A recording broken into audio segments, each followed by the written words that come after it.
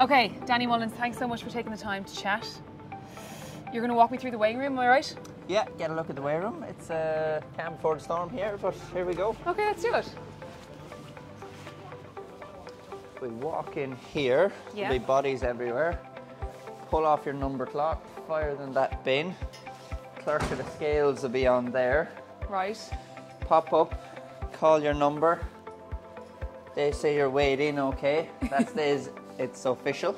Does that go, it, the weight goes up there Weight goes up there. for everyone to see? Everyone to see, yeah? Do you Right. want to have a No, thanks. jump? I'm all good. we'll both avoid that for today. Okay, so then, so the clerk person is there. yeah, clerk is there. Yeah. Key in, uh, you see the, the, the computer here, they'll key it in. So if you go by the scales without weighing in, you're disqualified. So Stop. very important, get the number in. You're yeah, gone. You're official there, yeah. Wow. And okay. has happened before, yeah. Uh, has it happened to you? uh, it hasn't happened to me yet, Okay, anyway, right. so I'll keep avoiding it.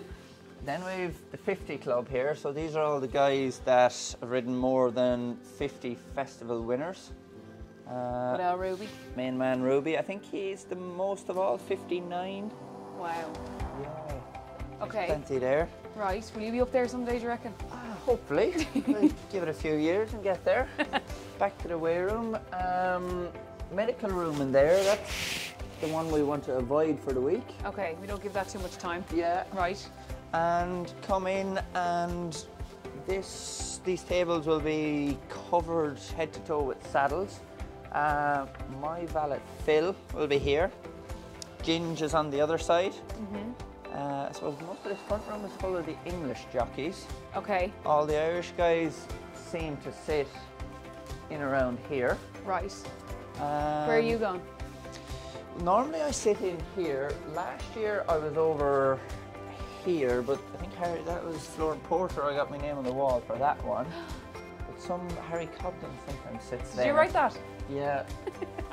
Important moment, getting to scribble your name up there. So, so, so explain to me what that means when you get to do that. So when you've ridden uh, a winner at the festival, you'll see like this would have been Ruby's corner, so it's graffiti everywhere. Um, winners, winners, yeah. Ruby's got 59 festival winners. Like that's uh, unbelievable stat. Barry Geraghty would have been here. It's funny, like Paul Townend sits in that corner. First few years here, have been sitting somewhere along here, and as the lads start retiring, you kind of get moved closer to the door every year. but Gotcha. Hopefully, I won't be hitting the door for another while. Well, Danny, here you go. Best of luck. Hopefully, we want it.